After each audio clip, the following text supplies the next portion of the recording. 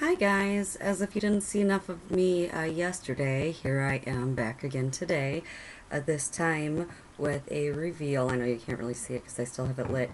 Uh, this is my first creative enchantment candle that I've ever burned. This is the Princess Jewelry Candle in Love Spell.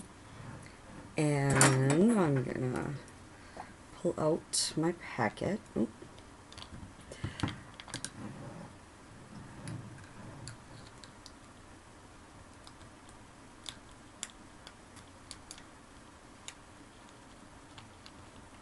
Okay, dokie.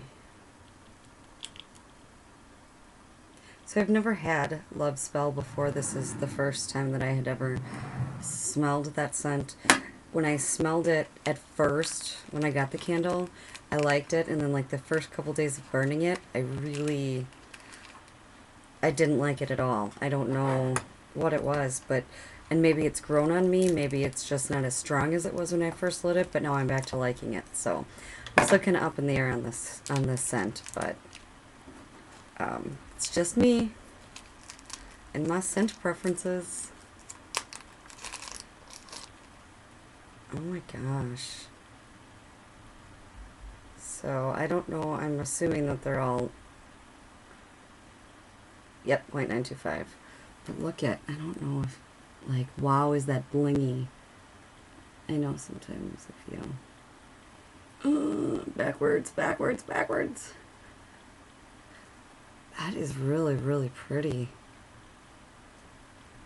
I hold it, wait, let's see if I, I know it's really big. So if I put it on, can you see it better? A little bit, but it's so blingy, it's so sparkly. Super duper pretty. Super, super pretty. So that is my princess candle. I love this lid. And I still have my purple jar, and then as you know, I got a whole bunch in yesterday. So, along with a, a Roke Easter egg that has some jewelry in it. So, I will have a lot of uh, reveals coming up. And that's it.